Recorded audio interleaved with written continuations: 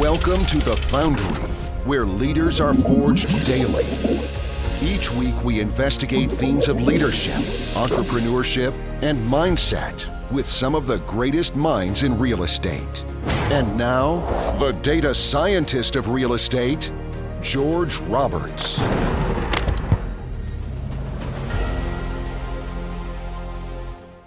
Welcome back, entrepreneurs. If you're out there wondering about the impact the runaway printing presses will have on inflation, trade, economic growth, and the real economy, you're in the right place today because I have Chris Galizio with us to talk about not just his important topics, but also his exciting upcoming movie, The Money Game, which examines all these issues in a manner that not only entertains the general audience, but which also draws some remarkable conclusions that are sure to stick with the audience well into the future. Mr. Galizio has been at the forefront of the investment industry for nearly 30 years. For over a decade, he ran the Fidelity Large Capitalization Growth Assets, which grew from $20 million assets under management to over 7 billion during his tenure. After leaving Fidelity in 2017, he started a hedge fund. By January 2020, he had written a white paper entitled The $340 Trillion Problem, as it became even clearer that financial markets no longer made sense. So at this point, I'd like to ask you to pick up that story. But first things first, welcome to the show, Chris. Thanks for having me, George. This is so fun to be here. Um, it's an exciting time for me. I feel like what, what we're trying to do with Money Game is change global market thinking. We're trying to show that the market that by the Fed intervening in bond markets, they broke the ecosystem of capitalism. But we did it in a way that everyone will understand. Money Game is kind of like Good Will Hunting meets Wolf of Wall Street. It's a drama rated R. Um, it's what we're trying to do is attract a very large audience to explain to them in very uh, common, simple language to show how the ecosystem of capitalism is now broken. Now the entire system is misallocating resources, which then slows the real economy, which is the elephant in the room um, in, in our in, in, in Money Game. Um, it's never mentioned, but it's our lead character. Right. I love that. And I love all of those ecological analogies. I just think that's fascinating. And one of the things that we could do, and there's so much we really could dive into, we've really had one of the most anemic recoveries, literally in history. And maybe you could help us understand what's behind that. I love that chart because what you're what you're seeing is in in so in 2008 the Fed intervened in bond markets, and I just wanted to point out over that period you can see that productivity grew 2.3 percent, which is the slowest recovery from in, in history. My belief is, is because when the Fed intervened in bond markets, the system started to misallocate resources. Things got much worse. That chart you showed is actually pre COVID. So then we know that the uh, unemployment hit 33% directly after that. And now I just saw uh, recently, I think it was in uh, June of last year, that productivity hit a 75 year low. Why? Because we have two different economies now. We have the financial economy and the real economy that no longer work together. It's one of the central themes of Money Game that we're showing is that by the Fed intervened in, in bond markets, they broke the ecosystem. Now we're investing in things like Dogecoin and FTX and GameStop and AMC and Tesla and Amazon. The system now rewards companies that need financing. It no longer rewards companies that, that generate profit. We're living in a centrally planned economy. We make the point the money game is it's driving interest rates down and stocks to infinite. All of finance is based on one simple formula. The value of $1 paid annually. And the way to figure out the, cal- the calculation for that is one divided by interest rate. So if the interest rates are 10%, the value is $10.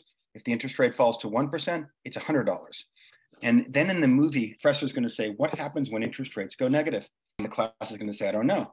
And he's going to turn and he's going to say, all assets are worth infinite. My coffee is worth infinite. My desk is worth infinite. My chalkboard's worth infinite. Does that make sense? Of course, that doesn't make sense, but neither does negative interest rates who would ever buy a bond with a negative yield from a country that's monetizing its debt? Yeah, absolutely. Jamie Dimon said, uh, "Not unless you force me to." Yeah, there's so many things on that list, like the meme stocks. You, you often mentioned your hometown deli. I mean, it's crazy. But when money was essentially free, it made sense for companies to borrow, and now we're kind of coming out of that phase. And and money still is free right? Because um because interest because we, as as financial professionals we use real interest rates, right? So inflation's mm-hmm. at eight percent and interest rates are three and a half, so you're negative five and a half percent. So uh, so think about this. um, so the biggest point we're making in Money Game is that when you remove risk from an ecosystem, the ecosystem changes. The way we explain that is what would happen if the if we remove the lions from the savannah? Well, the gazelle population would explode passive investing. But then they'd be competing for scarce water resources and die off. To which we have the biggest quote in our entire movie. Correct. And when the Fed intervened in bond markets, they broke the ecosystem of capitalism. So now what you're looking at is you're looking, notice that over 80% of the market is passive and quant. They don't use fundamentals. So in the movie, we're gonna we're gonna we have quotes left from the professor from Professor Gardner in the movie, quotes like "It's a bunch of followers following followers, like a cat chasing its tail." We're referring to quants following passive. As a matter of fact, the opening scene we have a um, a herd of gazelle. They have a lion surrounded. They attack the lion and they eat it, and it pops up money game. Um, which then we move into the real world. Um, the point being that there are no active managers left in markets.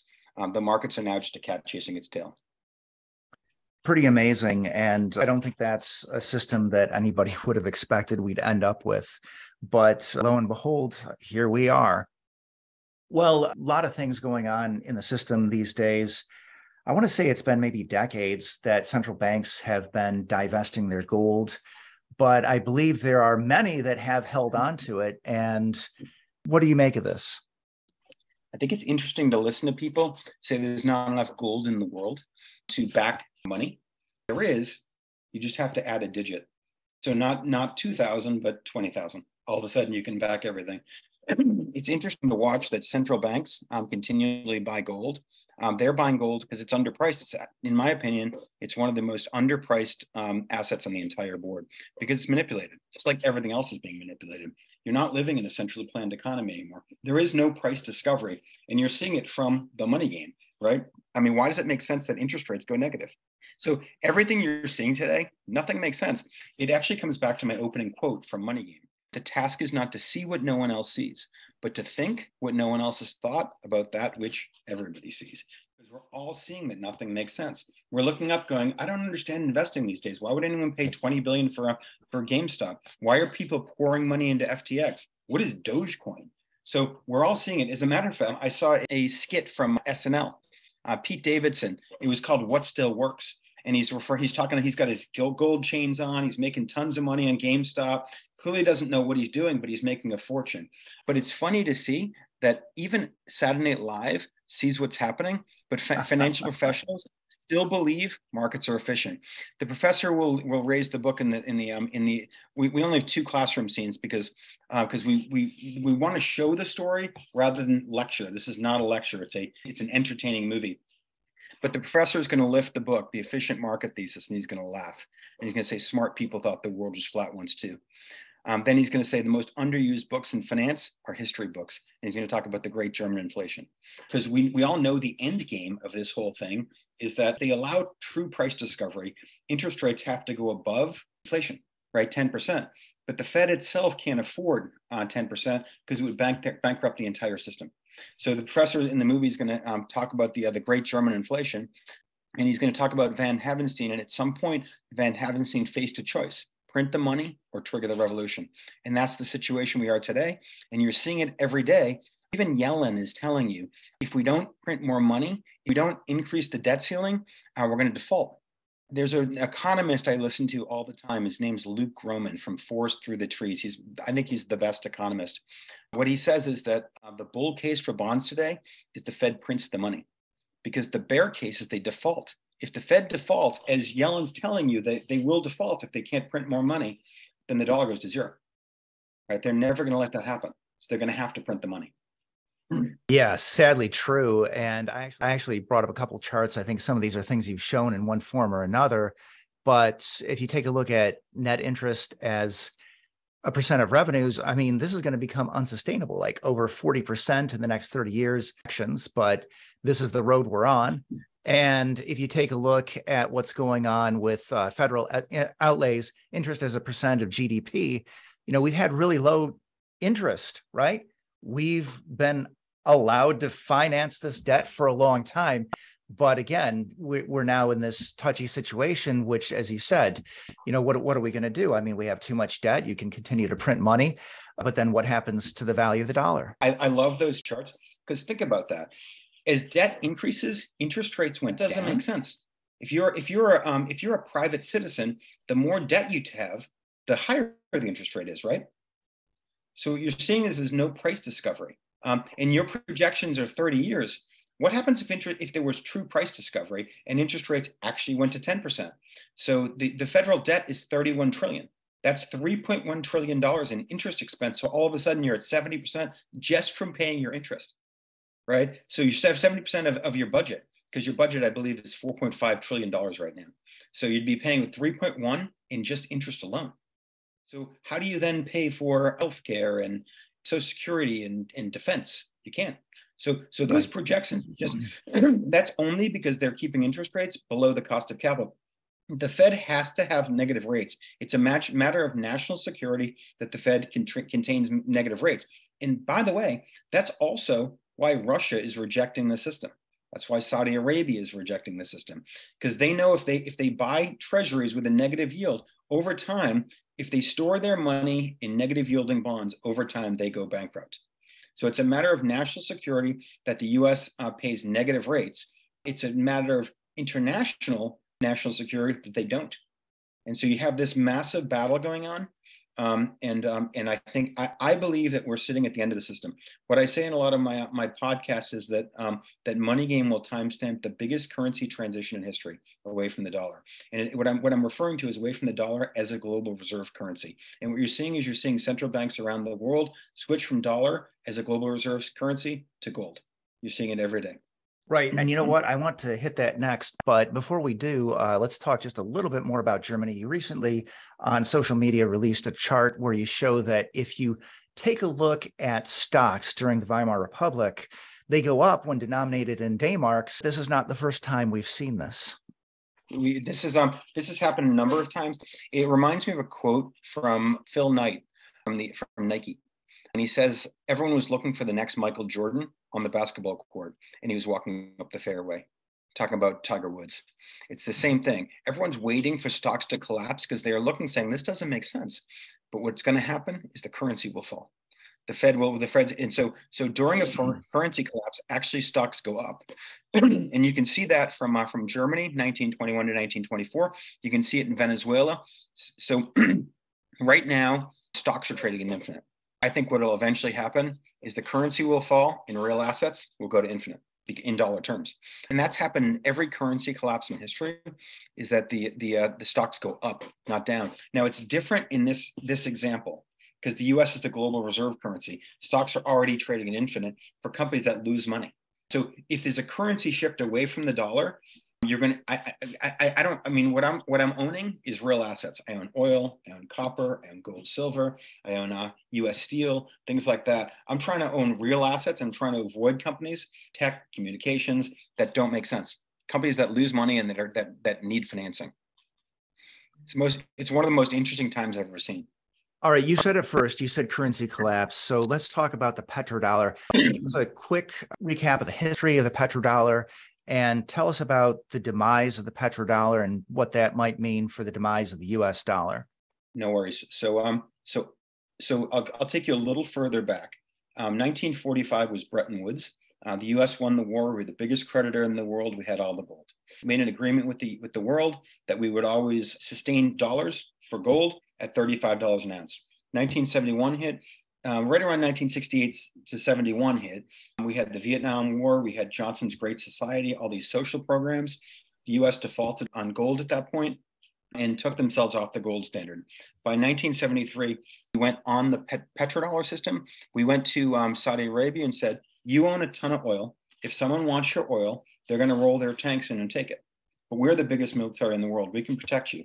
All we're asking for in return is that you take um, you take whatever profits you make from that you only sell oil in dollars, and you take the profits and you reinvest them in U.S. Treasuries, which then drove interest rates from in 1980 interest rates hit 18% under Volcker. Then it drove interest rates all the way down to negative or zero. Right. As the US, as the global reserve currency, you really can't go below zero because the big argument against gold is that it doesn't have a, have a, uh, have a yield. So once you go negative, I think central banks would switch to gold. So they they drove it all the way down to zero, which is why I believe we're at the end of the dollar system, um, because we're because interest rates are now zero and stocks are trading at infinite. The system has shifted from an investing system to a financing system. You're not investing in Tesla, you're financing it. Think about it. If, you, if I gave you $100 billion, do you think you could, $100 billion a year, 10% of their shares, do you think you could take 3% of market share of, the, of, of, of cars? Of course you could. Anyone could, right? So you're not invest. So in, in Money Game, the way we describe this, and we're trying to describe it in very simple things, simple terms. In March of 2020, interest rates were 0.66% in US. So the professor is going to turn to the class and he's going to say, Who here is willing to give me $152 if I give you $1 forever? It's one divided by 0.066. Um, and one of the students says, We'd all be dead by then. To which the professor says, Correct. In other words, you're not getting your money back. But it's funny to see that a student in day one of class, of finance class, sees it, but financial professionals still believe markets are efficient. That's the irony.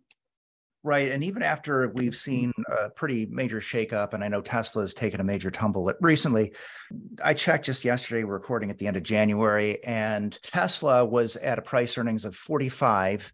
And if I'm not mistaken, I want to say that GM and Ford were around six. So it's pretty stark contrast. And I think it's very interesting that they have the whole world. When you when, when everyone went to business school, they told you to focus on cash flow. They told you to ignore our earnings. If you look at Tesla on cash flow um, and you mm-hmm. include stock based comp, which is a real thing, because understand when you see PE mm-hmm. of, of 45, they've stripped out stock based comp. So mm-hmm. if you mm-hmm. add back stock stock based comps, which we all know is a cost to the, the investor, it's much higher. It's um, and by the way, Tesla get Tesla gets subsidies. So I would argue that um, it's much higher um, than 45. Here's, here's what I actually think happened. I think the ecosystem changed. Okay, so I, I've made that point. So in a passive world, who makes the adjustment for dilution? So if Tesla issues 10% shares every year in a passive world, who makes the adjustment? And the answer is nobody. It's a passive world. There are no, there's no, there's no analyst left, right? So when you issue shares, your market cap goes up because nobody makes the adjustment. If your market cap goes up, what does the trend fall in quant do? They buy it and they push it up further, mm-hmm. right? So, so what you're seeing is a market failure, which by the way gets back to my the, the closing quote in Money Game. If passive ever gets bigger than active, you'll have chaos and catastrophe. Our markets will fail. What you're seeing is markets fail. Now, the opposite is also true. If you're a company like Petrobras, which pays a $7.50 dividend, stock's trading 11, by the way. But if you pay a massive dividend, who makes the adjustment at the ex-date? Nobody, right? So the stock becomes smaller in the index, then trend following quant sells it. So now you can buy that stock at 1.5 times free cash flow with a 70% dividend yield, right? So what you're seeing is you're seeing markets completely disconnected in fundamentals because nothing makes sense anymore. It's kind of an opposite world, right? Companies that earn money um, go down. Companies that um, that need financing go up. It's a centrally planned economy. By the way, it also comes back to another quote that we have in Money Game. Uh, the Fed's supposed to be like a uh, referee in a football game. No one's supposed to notice them. But now they flipped the field 90 degrees and broke the scoreboard because it's not a level playing field. Think about it. If you're if you're um, if you're Tesla, you're getting 100 billion dollars a year uh, to to create new um, uh, plants and equipment. Whereas if you're Ford and GM, you don't. If you're a private company, you don't. Um, but the way we show that in Money Game is we have um, publicly traded companies like Shake Shack. They'll go into like a Shake Shack.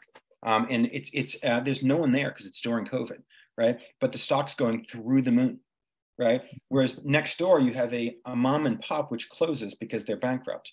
Uh, because they can't afford because they need to, they need cash to, to uh, fund their business. So what we're trying to show is we're trying to show an unfe- un, unlevel uh, playing field.